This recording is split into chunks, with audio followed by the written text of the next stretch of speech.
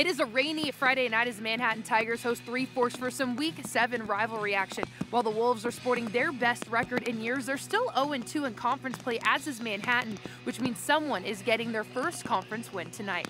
It was a slow first quarter to start the game, but there seemed to be a turning point after this sack in the backfield by Three Forks Corey Potts for an 11 yard loss. It woke up Austin Devers, and on their next drive, the quarterback keeps it for 25 yards down the sideline to put the Tigers in the red zone with eight seconds left on the clock. Time expires in the first, but they get the job done in the second with this seven yard run by Logan Bassarella. Tigers up six, and they tack on six more two drives later. Devers fakes the handoff at first, but Michael Swan sweeps across and he is gone, taking it 41 yards to the house. Tigers would complete the two point conversion for a 14 point lead. Wolves come back swinging the next drive, pulling out all the stops like this trick play to Walker Page.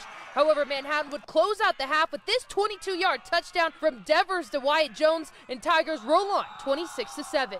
And looking ahead to next week, both teams are scheduled to play some tough opponents. Three Forks is headed to Columbus to play the undefeated Cougars, while Manhattan is headed to Jefferson.